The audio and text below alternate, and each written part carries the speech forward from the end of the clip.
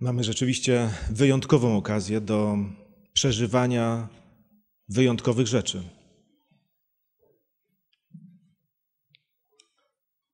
Pierwszy raz będę mógł z Wami brać udział w wieczerzy pańskiej. I tak jestem ciekawy, o czym teraz myślicie.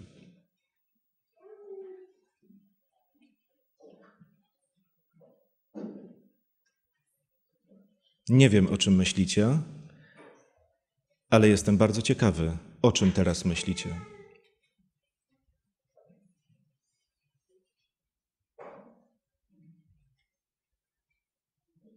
Wiemy, czym jest wieczerza pańska? Ciekawy jestem, o czym teraz myślicie.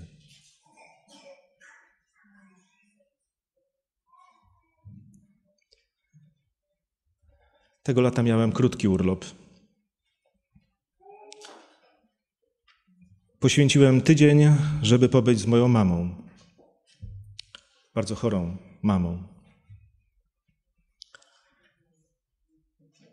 Przez ten tydzień była w szpitalu, dłużej była w szpitalu, ale przez ten tydzień, w którym ja byłem z nią, też była w szpitalu i codziennie z siostrą jeździliśmy tam po to, żeby ona opiekowała się nią.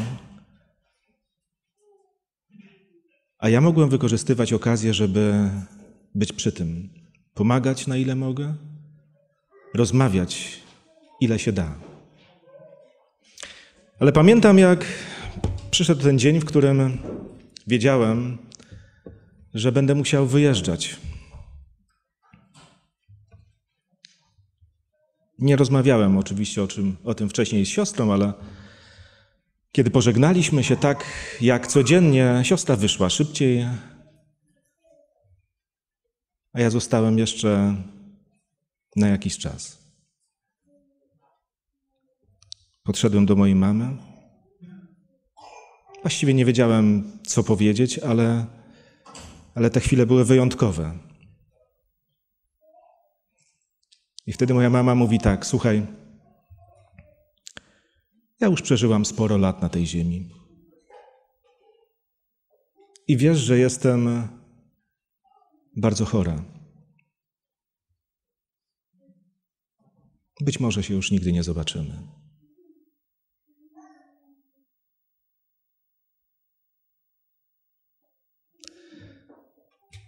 To są wyjątkowe chwile, kiedy ktoś mówi, ktoś bliski mówi ci o tym, że być może się już więcej nie zobaczycie.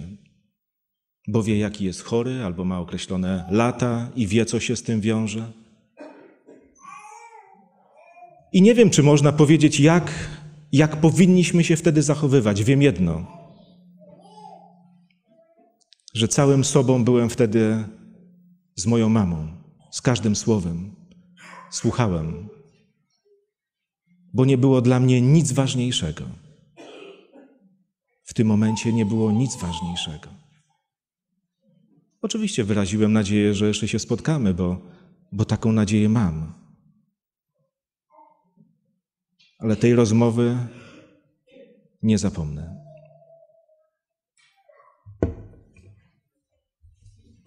Pan Jezus też próbował rozmawiać ze swoimi najbliższymi o tym, że niedługo spotka go śmierć.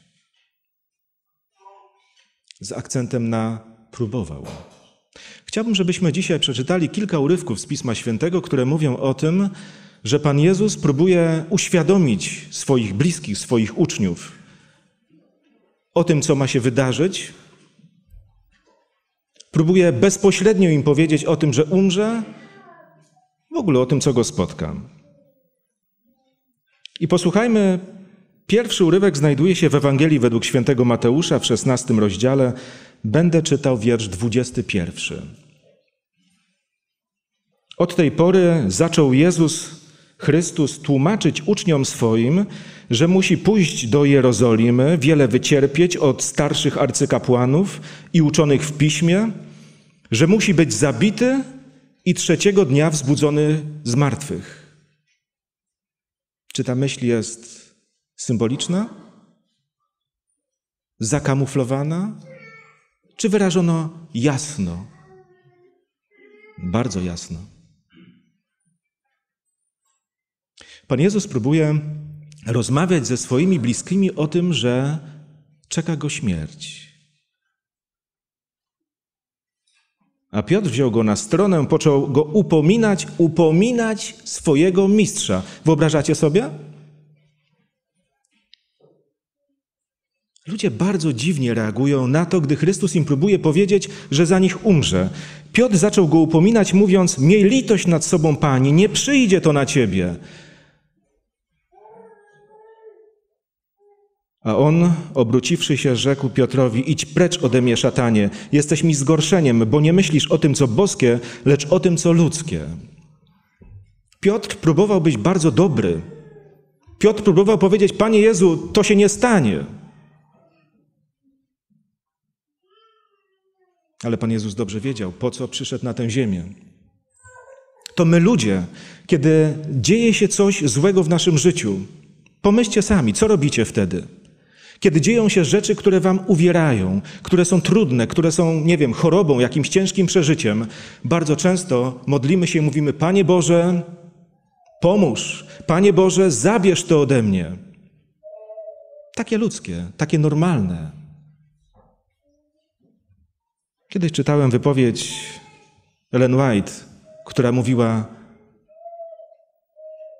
że my zbyt często modlimy się o to, żeby Bóg zabierał od nas różne trudne chwile, a zbyt rzadko modlimy się o cierpliwość, żebyśmy mogli przez różne trudne chwile przejść z Bogiem. Bo dopiero gdy tak się stanie, w naszym życiu wydarzy się coś naprawdę wyjątkowego. Pan Jezus wiedział, po co przyszedł. Wiedział, że przyszedł po to, żeby umrzeć za ten świat. Próbuje to uczniom powiedzieć, próbuje, a oni mówią: Oni nie, Piotr, nie przyjdzie to na ciebie. Niby dobry, ale Pan Jezus mówi: Za tym dobrym stoi zły. Pan Jezus nie miał szczęścia, żeby wysłuchano jego bardzo osobistego stwierdzenia o swojej śmierci. W Ewangelii według świętego Marka w dziewiątym rozdziale od wiersza 30 czytamy, jak to Pan Jezus próbuje po raz drugi porozmawiać z uczniami o tym, co wydarzy się niedługo w Jerozolimie. A byli w drodze idąc do Jerozolimy, a Jezus szedł przed nimi i zdumiewali się ci, co szli za nim,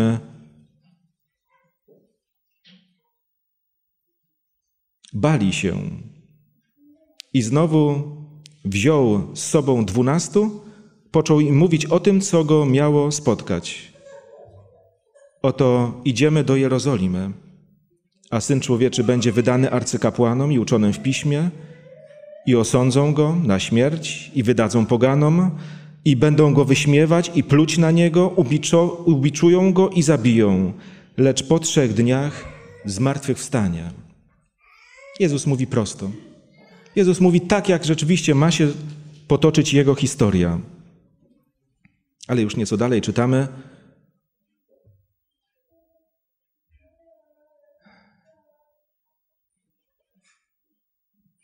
Przystąpili do niego Jakub i Jan,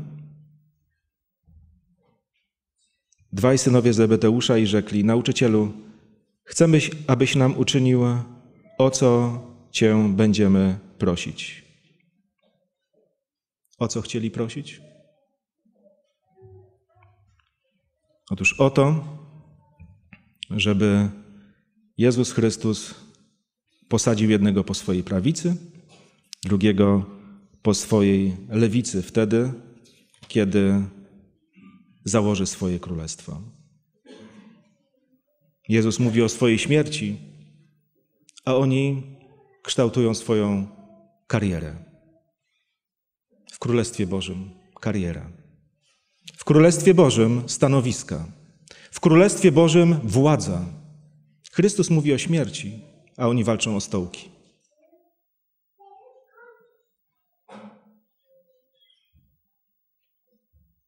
W dziewiątym rozdziale od wiersza 30 czytamy: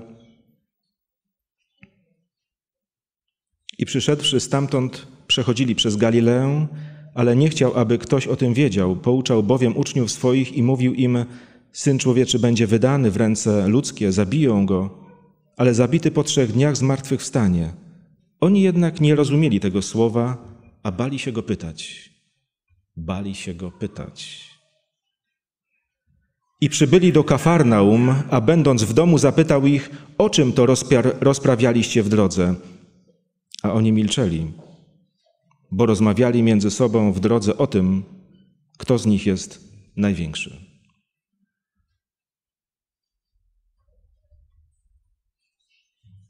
O czym teraz myślicie?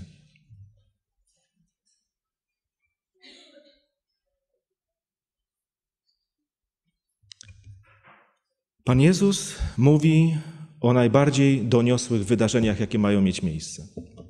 Mówi o tym, co dotyczy całego wszechświata. Ale nie ma tych, którzy chcą tego wysłuchać. Nie ma tych, którzy chcą przy tym się zatrzymać. Oni mają swoje plany. Oczywiście możemy powiedzieć, to był e, trudny dla ludzi czas, bo jeszcze nie był zesłany Duch Święty na ziemię. Kiedy przyszła pięćdziesiątnica, wszystko się zmieniło. Tak, zmieniło się bardzo wiele.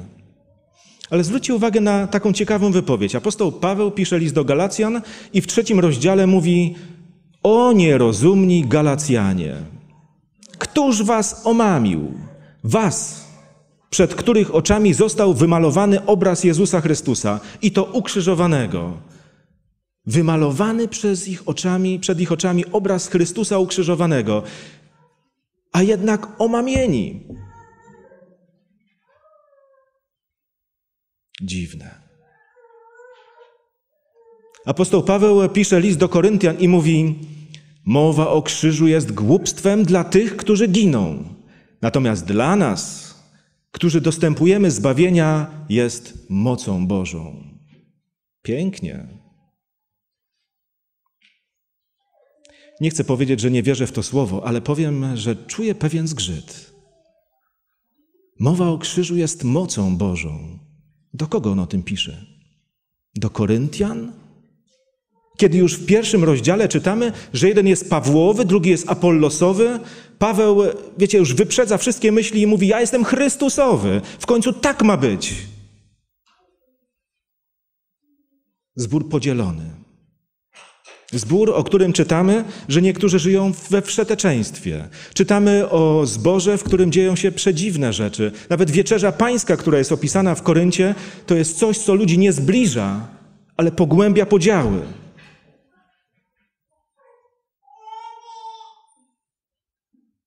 Wiecie, czytam Ewangelię i zastanawiam się, czym jest krzyż. O czym teraz myślicie? Czym jest krzyż? Gdzie jest jego moc? Dlaczego dzieje się tak, jak czytamy? Przecież nie czytamy o ludziach daleko będących od Chrystusa. Czytamy o tych, którzy z Jezusem Chrystusem chodzili dzień po dniu przez kilka lat. A jednak, gdzie jest moc Chrystusa? Gdzie jest moc krzyża jako tego wielkiego wydarzenia w historii? Biblia oczywiście nam przychodzi z pomocą. Biblia mówi o tym, że ten świat jest takim światem, w którym aż do żniwa będzie rosła pszenica, ale i konkol. To jest jakaś odpowiedź na to pytanie. Nie wszyscy, którzy trafiają do tego Królestwa Bożego, są w tym kręgu Bożego oddziaływania, Bożej władzy, Bożej, Bożej miłości. Nie wszyscy tak naprawdę wiedzą, czym jest nawrócenie. E, nie nasza rzecz to rozsądzać. Apostoł Paweł mówi: Nie sądźcie przed czasem, dopóki nie przyjdzie Pan, który ujawni to, co ukryte, objawi zamysły serc. Przyjdzie czas, On jest sędzią. Ale prawdą jest to, że na ziemi jest pszenica, konkol.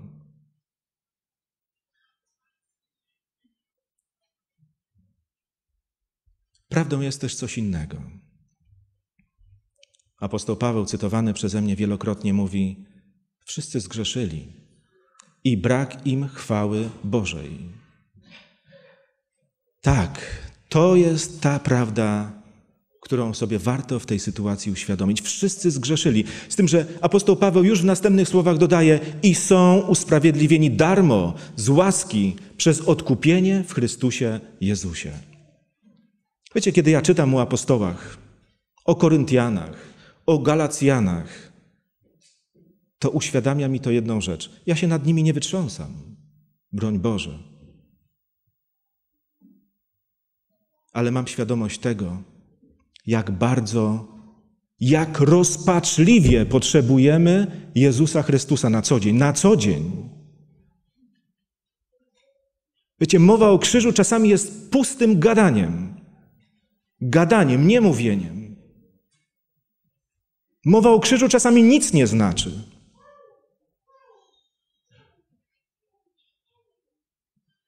A przecież jest mocą Bożą, której możemy doświadczać. Jest czymś cudownym. I tak się rzeczywiście dzieje.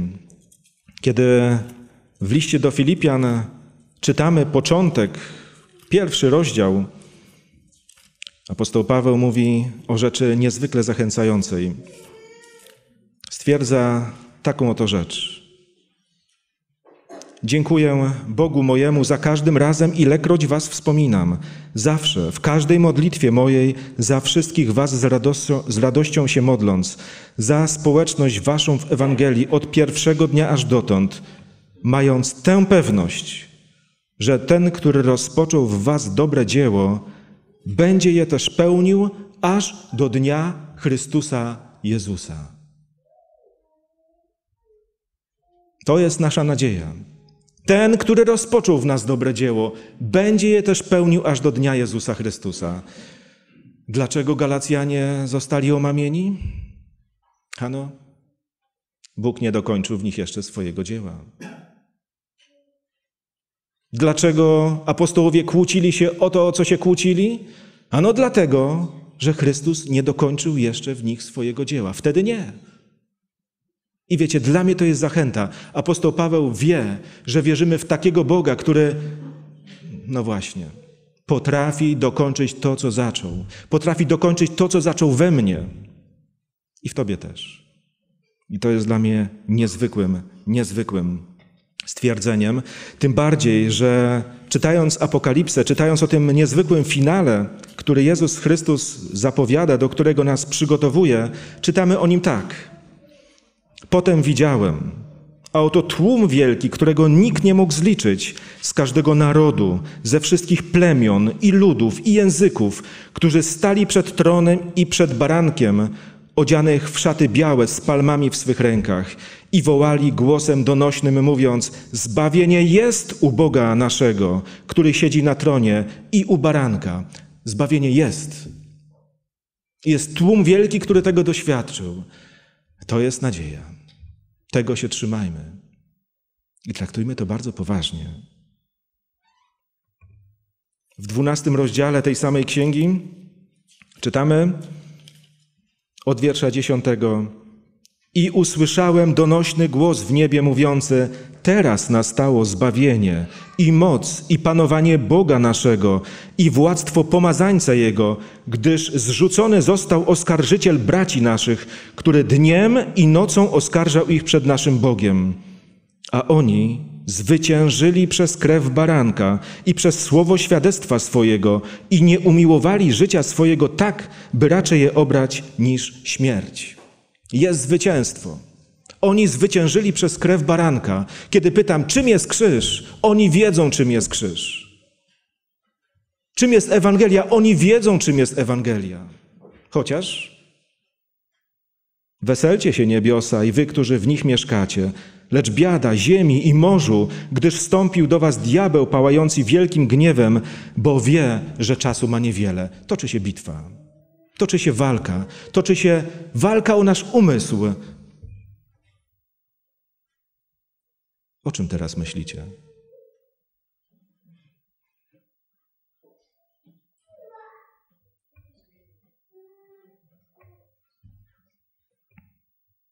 Zły walczy o to, żebyśmy utracili Chrystusa sprzed naszych oczu.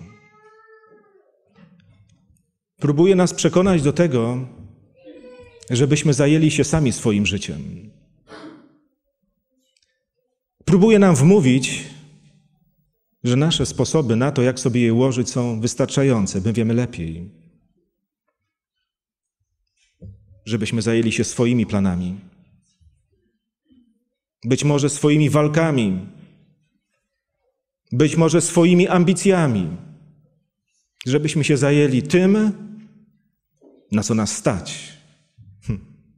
Tak jak kiedyś Koryntianie, tak jak kiedyś Galacjanie, tak jak kiedyś apostołowie. Ale oni musieli się jeszcze nawrócić. Kiedy myślimy o tej walce diabła, to możemy myśleć o wielu rzeczach, ale zaczyna się gdzieś w moim umyśle. Czytam o krzyżu. Jakie to robi na mnie wrażenie?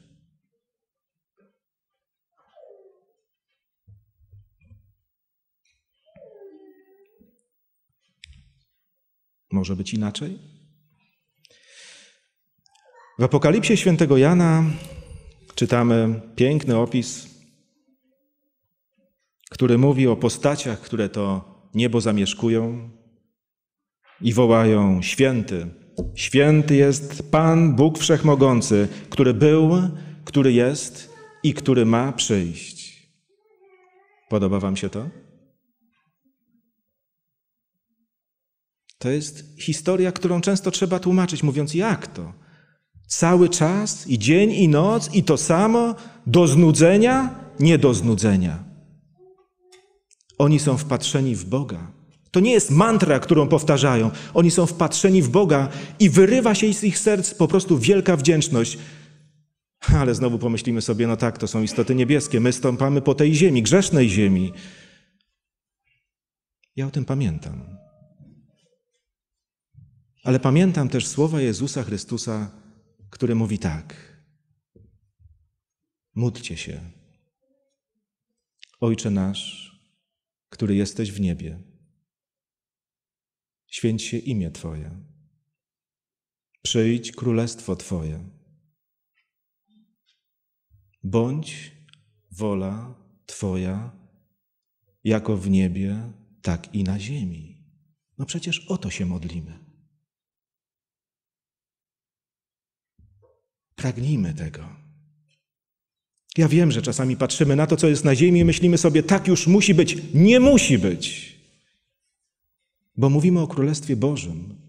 Mówimy o krzyżu, która jest, który jest mocą, mocą Bożą.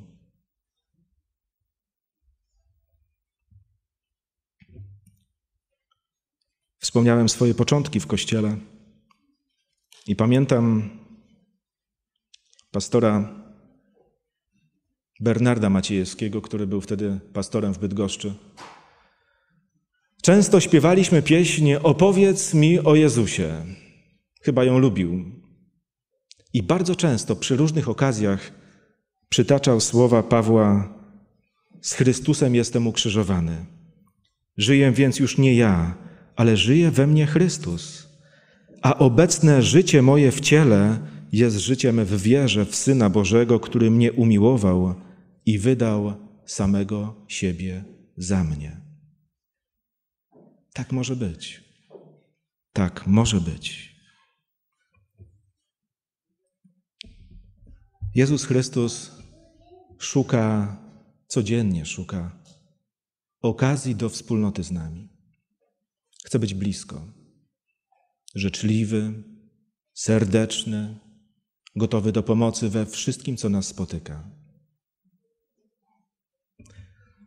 Myślę, że szczególną okazję stwarza nam dzisiaj również uroczystość Wieczerzy Pańskiej.